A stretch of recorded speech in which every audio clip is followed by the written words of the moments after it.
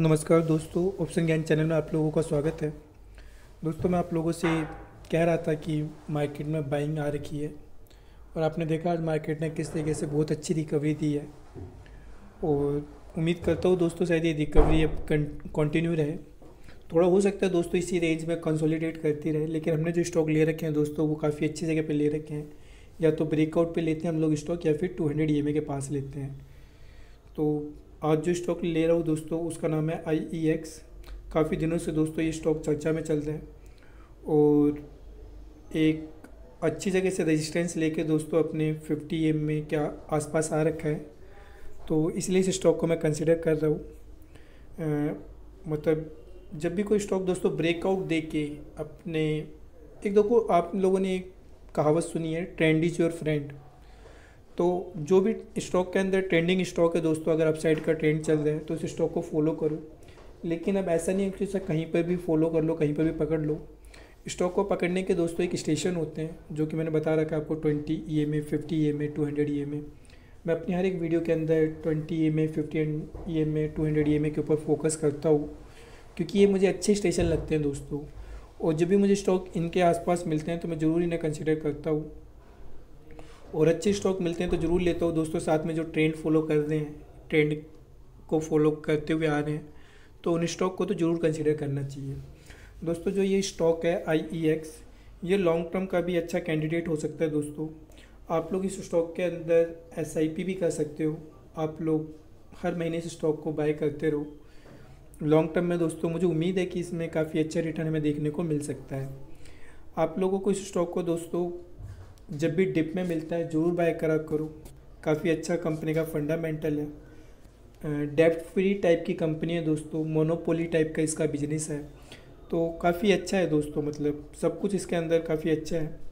एक बार इसका दोस्तों लेवल भी डिस्कस कर लेते हैं। हालाँकि मैंने आपको बताया, जब भी कोई बेहतरीन स्टॉक होते हैं निफ्टी फिफ्टी के स्टॉक होते हैं तो उनके अंदर मैं ज़्यादा लेवल देखता नहीं हूँ दोस्तों।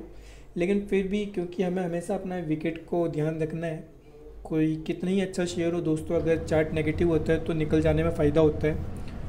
तो इस स्टॉक का भी देख लेते हैं। अभी करंट सेवन थर्टी फोर के आसपास चल रहे हैं। तो आप लोगों को यहाँ पर अपना थर्टी परसेंट कैपिटल लगाना है थर्टी फाइव परसेंट भी लगा सकते हो दोस्तों। फिर नेक्स्ट आपको इसे कंसिडर करना है।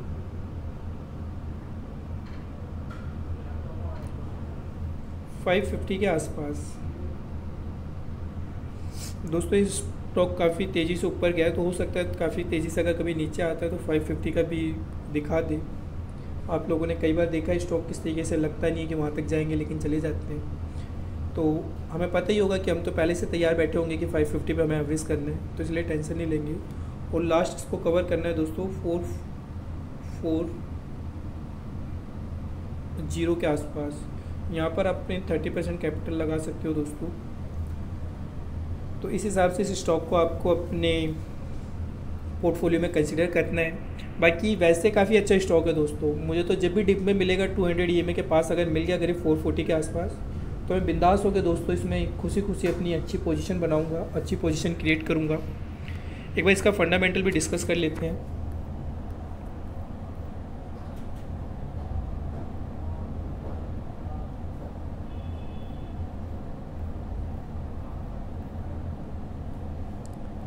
कंपनी का रेवेन्यू और कंपनी का प्रॉफिट दोनों ही आपको बढ़ते हुए नज़र आ रहे होंगे और बेहतरीन तरीके से बढ़ते हुए नज़र आ रहे होंगे दोस्तों। अगर फाइनेंशियल स्टेटमेंट की बात करें तो तीनों ही पॉइंट यहाँ पे आपको ग्रीन नज़र आ रहे हैं। जहाँ पर इंडस्ट्री का revenue growth six point three percent है, वहाँ पर इस कंपनी का revenue growth twelve point double two percent है ऑलमोस्ट डबल के आसपास है। कंपनी ने पाँच साल के अंदर अपना मार्केट शेयर भी इंक्रीज़ करा। है नेट इनकम ग्रोथ जहाँ पर इंडस्ट्री की 9.47 परसेंट है, वहाँ पर इस स्टॉक की नेट इनकम ग्रोथ 15.53 परसेंट है। दोस्तों, इसके अंदर बैलेंस शीट का भी अगर मैं पॉइंट देखूँ तो यहाँ पर इन्होंने दो पॉइंट दे रखे हैं और दोनों ही आपको ग्रीन नज़र आ रहे हैं। तो काफ़ी बेहतरीन है दोस्तों। इसके अलावा मैं एक लास्ट चीज़ और देखता हूँ दोस्तों, जब भी स्टॉक कंसिडर करता हूँ, आपको पता ही होगा शेयर होल्डिंग पैटर्न ज़रूर देखता हूँ, उसके अंदर रिटेलर क्या कर रहे हैं ख़ास तौर से। अगर रिटेलर उसमें से एग्जिट कर रहे होते हैं तो मेरी उसके अंदर एंट्री हो जाती है। तो आप देखोगे दोस्तों सेप्टेम्बर क्वार्टर के अंदर, अब तक की सबसे कम होल्डिंग है दोस्तों इनकी thirty nine point one three percent तो रिटेलर एग्जिट कर रहे हैं दोस्तों तो आप लोग एंट्री ले लो अपनी। एफ़ आई आई दबा के माल उठाने में लगे हुए हैं। डी आई आई निकल रहे हैं। म्यूचुअल फंड ने भी पिछले क्वार्टर से अपनी होल्डिंग इंक्रीज़ करी है। प्रमोटर तो इसके अंदर है ही नहीं दोस्तों। सारा गेम ही पब्लिक के अंदर चल रहा है और अच्छे अच्छे लोगों के पास स्टॉक। तो आप लोगों को अच्छी जगह पे मिल रहा है, फिफ्टी एम के पास मिल रहा है। तो आप लोग इसे कंसिडर कर सकते हैं। उम्मीद करता हूँ दोस्तों आप लोगों को मेरा वीडियो पसंद आया होगा। और आप लोगों के लिए काफ़ी फ़ायदेमंद होगा।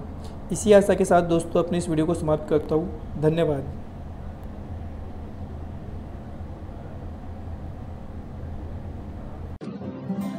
दोस्तों, अगर आपको मेरा वीडियो पसंद आया हो तो please like, share and subscribe करना ना भूलें। Thanks for watching my video.